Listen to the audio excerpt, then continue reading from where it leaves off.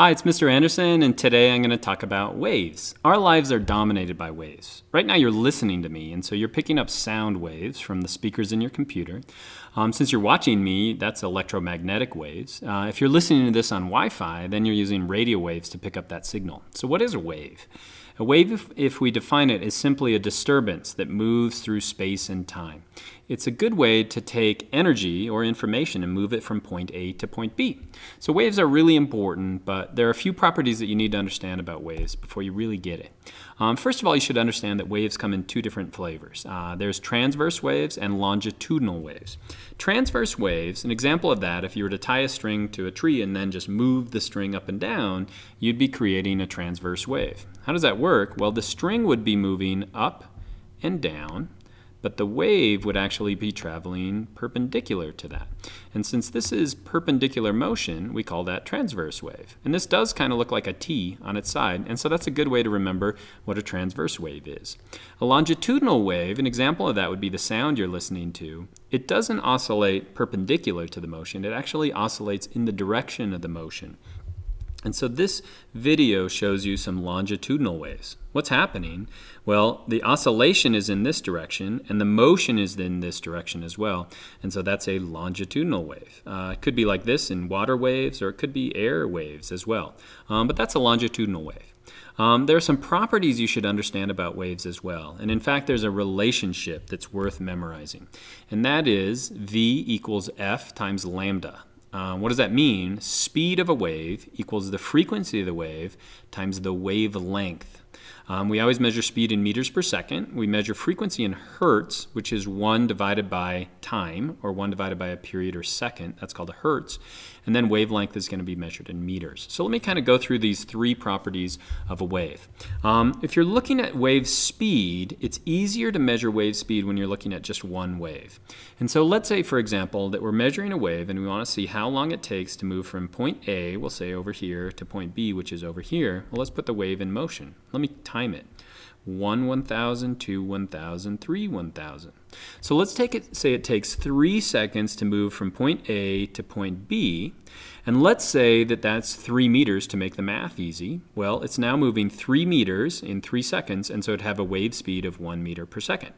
Another thing that's interesting to look in this animation is that the actual particles on the wave don't move as fast as the wave. Um, the closer you get to the surface, if you're a surfer, the faster you can move. But a lot of those particles are barely moving at all. And so the energy is being traveled through the medium, but the medium is actually not being traveled. Next thing is going to be called frequency. Frequency is how often waves come. And so the, the definition for that is one wave divided by t, which stands for the period.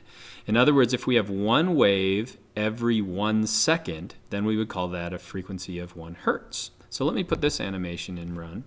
Um, so right here we've got a, a series of lights. So the light at the bottom, it's blinking every half a second. And so its period is 0.5 seconds, and so it's 1 divided by 0.5, or 2 hertz. Let's say we have a wave that comes this often, every 2 seconds. So we have a wave, and then 1 1000, 2 1000, wave. So that would have a frequency of 0.5 hertz. In other words, the faster the waves come, the bigger the frequency is going to be the larger the frequency is going to be. And if you're listening to my voice, um, you're listening to thousands of hertz, um, if not tens of thousands of hertz in my voice. And so those waves are oscillating really, really quickly, much quicker than these flashing lights right here. Last thing in a wave is, is lambda, and what lambda is simply going to be wavelength. Wavelength, well, first let's look at this wave right here. In, in a transverse wave, it's going to have a crest, which is going to be the top. It's going to have a trough, which is right here at the bottom. And then we're going to have this node, which is right in the middle. And so from crest to crest, we call that one wavelength. And what you'll find is it's going to be the same distance from here to here, here to here. In other words, how long a wavelength is going to be lambda, or that's going to be the wavelength of a wave. Now, to really measure and play around with the waves, I would encourage you to do this. This is a simulation. It's found at phet.colorado.edu. They do some wonderful science animations, and this one's called Waves on a String. So let me go find that for a second. So here would be a wave that you can kind of play around with. Um, so what you can do is we can grab this string of beads, and I can move it up and down, and I can move a wave from this side to that side. Now what you'll find, it's hard for me to do this very well, let me try that again, is that the energy is being traveled from, or is traveling from point A to point B, but the beads aren't traveling, so it's just being transferred through that medium. So this would be a typical wave. Let me just make a quick pulse like that. So what's happening here? Well, that wave is moving down, and then it's just moving right out the door. Um, let's kind of reduce the damping for just a second and see what happens. All right, so we even have more of a wave that's moving down. Now let's actually put a fixed end on that. So now what I'm going to do is I'm going to actually send a wave down, and let's see what happens to it. Ah, the wave is being reflected, or it's bouncing back, and this is a characteristic of waves as well. Let me kind of put a damper on that for just a second. So let's see what happens when I send a wave, and then I send another wave. Well, what happens when they hit? That was kind of hard to see. Let's try that again. Let's say if I send a wave, and then I send another wave, what happens when they hit? Well, when they hit, they actually cancel each other out. It's hard to see. Let's see if we do it this way. Let's make a loose end now. What happens if I have a loose end and we send that down? Oh, that's cool. The wave actually comes back on the same side. So now let's send a wave and now another wave down. What happens when they hit? Well, what's happening is they're actually taking the energy of both waves when they collide, and then we're adding to that. So we have that, that's called constructive interference. So now let's kind of oscillate our waves. So let me keep the dampening like that. Let's go back to no end at the end. And now let's set it to oscillate. So now what do we have in a wave? Well, in this wave we've got a high amplitude. So amplitude is going to refer to how big the wave is. So let's reduce that. So amplitude is how high it's moving up and down. Frequency is going to be how fast it occurs. So right now the frequency is 50 hertz. What does that mean? We have 1 divided by, what would that be? 1 divided by 0.02 seconds. Um, and so we're getting 50 waves per second. Um, so that's going to be a high frequency. Um, if I increase the frequency,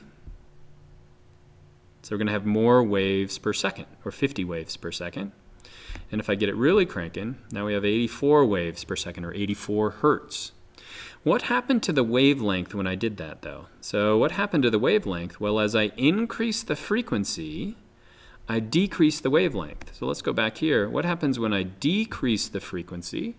So now it's only 24 waves a second.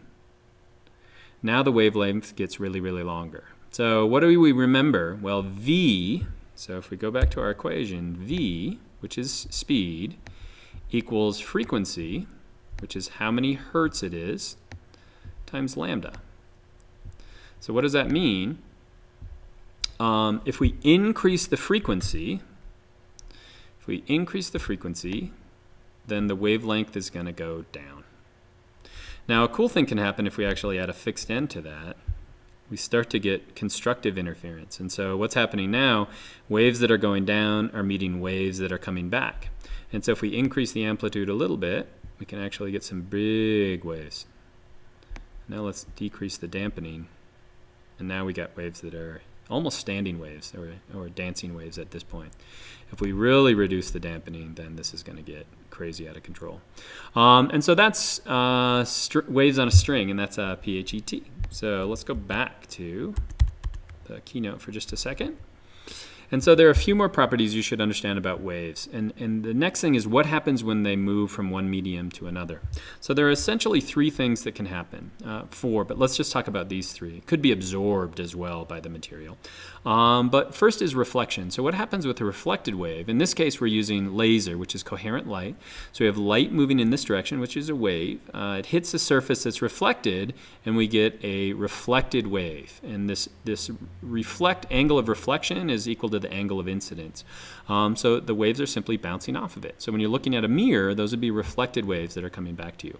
Now another thing that can happen when it hits, moves from one medium to another, in this case we're going from air, it looks like, to a, a lens, or this could be filled with water, it's being refracted. What does that mean? It's being bent. And so as the light moves in this direction, it's a wave, it hits this and it's actually slowing down and that's bending or refracting the wave. Now you can also see here that some of that is being reflected, but we certainly have a lot of refraction here, or bending of a wave.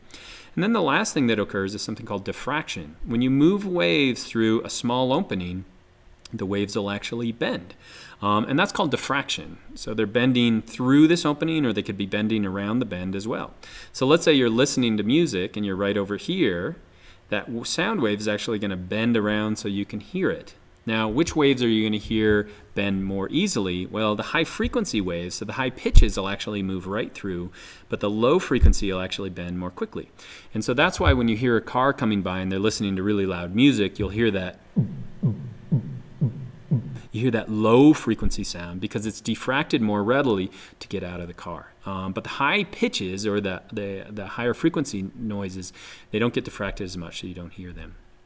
Last thing I want to show you is that you can solve simple problems. And so let's say this is a, a, real world example. Let's say we have a tsunami, which is a giant wave in the ocean created by an earthquake. Let's say it has a wavelength of 21, 210,000 meters. So that's 210 kilometers between waves. That's a huge wavelength. And let's say it has a frequency of 0.00067 hertz. That would be like one wave coming every 25 minutes. Now calculate the speed of the wave. Well, how would you do that? Well, we remember our equation, v, which is wave speed, equals frequency times wavelength. We have to look at our units, so we know frequency, and it's in hertz, and so we're fine. We know wavelength, and that's going to be in um, meters, and so we're fine. So to figure out the, the wave speed, we simply multiply the frequency times the wavelength to figure out the wave speed. And I did this earlier. When you take 210,000 times 0.00067, what you get is uh, 140, if we do significant digits right, because the uh, both of those have two significant digits, 140 meters per second. Now, most of us don't understand what meters per second are, so we can roughly take that times 2.2. And so a tsunami that has that large a wavelength and that small a frequency is going to move at about 310 miles an hour. And so these things move really, really quickly, and that's why it's important that we know and get high, get to higher ground when we hear the tsunami warnings going. And so that's waves, and I hope that's helpful.